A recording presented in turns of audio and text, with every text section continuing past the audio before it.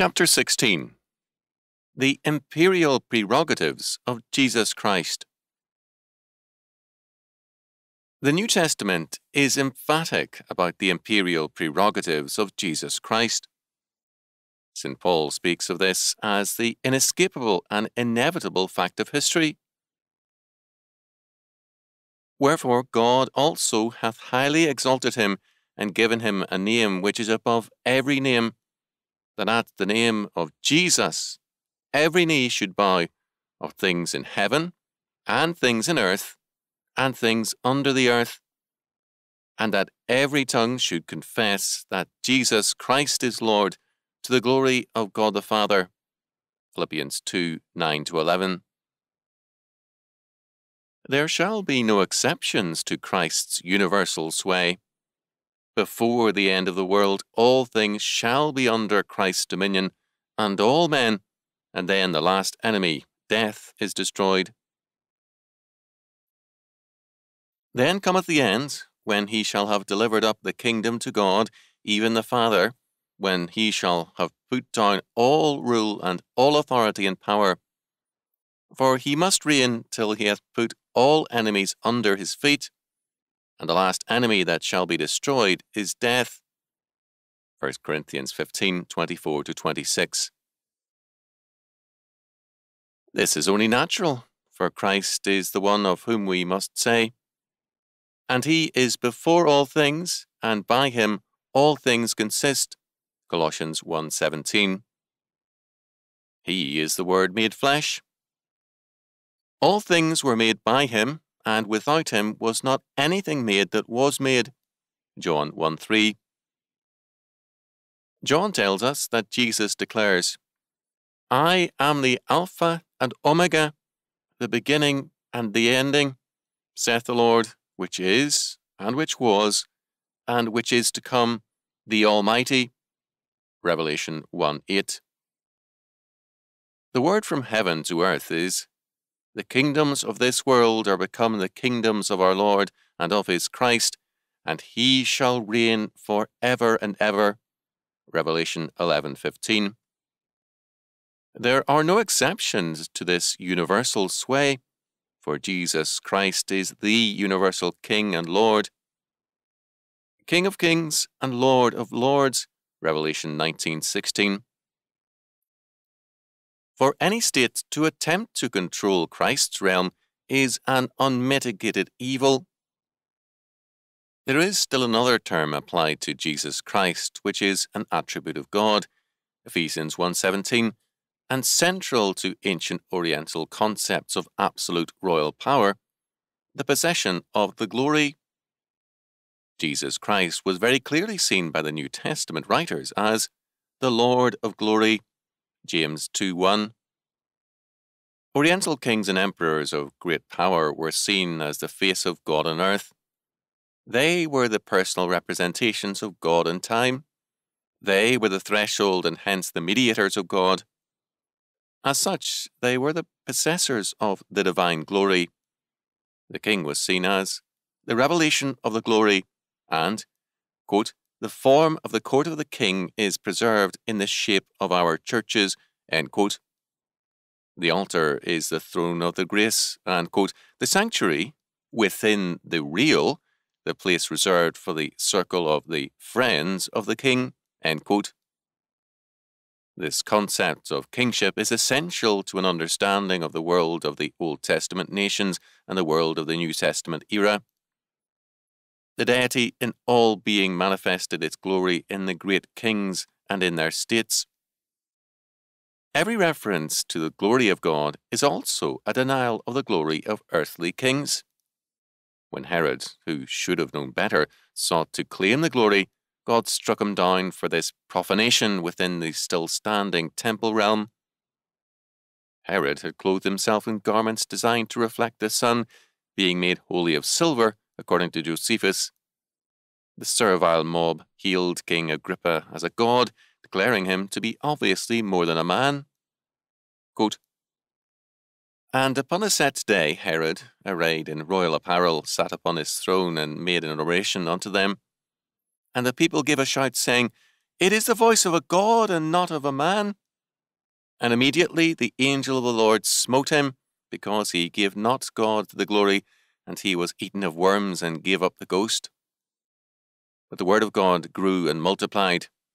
Acts 12 21 to 24. Buckler called attention to the status of those whom the King of Glory took into his household. First, they were called friends, as Jesus does, all who keep his commandments, John 15 16. The word translated as friends is philos in the Greek, and, when used by a monarch, means princes of grace, because all whom a king makes a friend, he makes a prince of the royal household and family. The same word is translated as princes in the Septuagint version of Esther 1.16. Second, all who are taken into the royal family by grace are clothed by the great king as his children the necessity of being clothed by the great king is clearly set forth by our Lord in the parable of the wedding feast, Matthew 22 1 14. The king's robe of glory, his holiness and justice, cover his adopted children. To refuse his covering is to refuse him. Third, the princes of grace, who by adoption are made members of the royal household, sit at the royal feast the Lord's table is the royal feast, the visible witness of his providential care for his own. Buckler pointed out, quote, To partake of the royal feast is to pledge oneself to be a member of the king's body. In the words of the prayer of consecration, quote, that we receiving these by creatures of bread and wine may be partakers of his most blessed body and blood. End quote. Fourth, those who put on Christ put on also the royal righteousness as opposed to a servile righteousness. The royal righteousness manifests the glory of God in joyful obedience to his law word, whereas servile righteousness is fearful and slavish obedience. Fifth, by defeating on the cross the power of sin and death, Jesus Christ, the Lord of glory, defeated the power of the prince of darkness in the very world he had corrupted and captured. Now this world could be reconquered and the glory of God manifested in every area of life and thought. Sixth, to ensure the continuity of Christ's kingdom on earth, the Church was established to extend over all the earth the crown rights of the Lord of glory and to make disciples of all nations. Matthew 28 18 20. So great is the supernatural power of Christ's true and faithful church that the very gates of hell cannot prevail or hold out against it. Matthew 16:18. Seventh, to make clear this fact, God the Lord at Pentecost used an ancient symbol of royal glory to manifest his spirit. According to Acts 2 1 4, quote, And when the day of Pentecost was fully come, they were all with one accord in one place. And suddenly there came a sound from heaven as of a rushing mighty wind, and it filled all the house where they were sitting. And there appeared unto them cloven tongues like as of fire, and it sat upon each of them. And they were all filled with the Holy Ghost, and began to speak with other tongues as the Spirit gave them utterance. A great blazing lights or fire is the ancient symbol of glory. At Pentecost, it was not one fire nor one tongue of light which appeared, but tongues of flame. Previously, a tongue of fire had been carried before great kings such as Cyrus, Darius, and Alexander the Great to signify their claim to be the lights of glory. These were all man made flames because they were man made claims to the divine glory. Now at Pentecost, it was God the Spirit who brings the fire, and it comes to all who are the called of God. To cite Buckler again, quote, The Holy Spirit is the divine royal glory of the kingdom of God established on earth by our Lord. The doctrines of his divinity and place in the Trinity as of the same being, homoousion, with the Father and the Son, from whom it proceeds, is the Church's assignment to its source of the glory which is hers through her Lord. From the possession of the glory proceeds the royal righteousness. It is this fact which is symbolized in the sacrament of confirmation, which is, in reality, the chiefest of all sacraments, for it is the epiphany of each Son of Man. The ascendancy of the King of Glory, Jesus Christ, to all the pretended kings of glory is most obvious. To suggest that Christ's realm should be controlled or licensed by pretenders is absurd and blasphemous. The modern state, through many symbols, claims to be the bearer of the true glory. This is less true technically of the United States than of other countries because our Constitution omits all claims to sovereignty although this claim has been reintroduced by the courts. In spite of this, we do have the reference to the flag as Old Glory. This is not all. Every faithful believer is a temple of the Holy Ghost. By His grace, He is made the habitation of God's glory. He thus possesses what kings and states have claimed but do not have the glory of God. Hence, while the Christian is commanded under God to submit to rulers, this can never be a total nor an unqualified submission, because the believer is in the world, but not of the world. John 15:19. The ungodly are of this world. John 8:23. Our Lord is clear that his kingdom is not of or derived from this world. John 18:36. This world, therefore, has no right to control it. We must never forget that in the Old Testament, the temple and Holy of Holies was God's palace and throne room. How seriously this fact had to be taken is apparent in Psalm 24.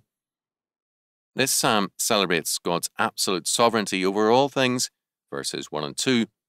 It gives us the grounds of admission to the royal presence, verses 3 to 6. Then the gates of Jerusalem, but metaphorically all creation, are summoned to open to the King of Glory, verses 7 to 10. The quote, everlasting doors, end quote, are to open to the everlasting King of Glory. Quote, the earth is the Lord's, and fullness thereof, the world and they that dwell therein. For he hath founded it upon the seas, and established it upon the floods. Who shall ascend into the hill of the Lord, or who shall stand in his holy place? He that hath clean hands and a pure heart, who hath not lifted up his soul unto vanity, nor sworn deceitfully, he shall receive the blessing from the Lord, and righteousness from the God of his salvation. This is the generation of them that seek him, that seek thy face, O Jacob. Selah.